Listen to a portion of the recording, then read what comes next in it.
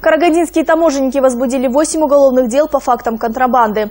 По предварительным данным, общий ущерб государству составил более 275 миллионов тенге.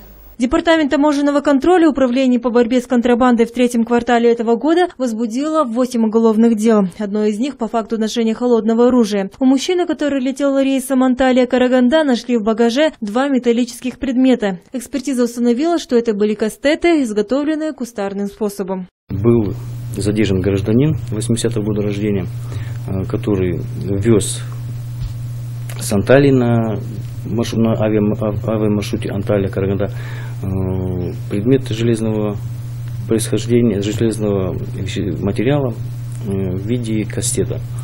При проведении экспертизы было установлено, что это относится к холодному оружию, и управление было возбуждено уголовное дело по статье 251 Уголовного кодекса.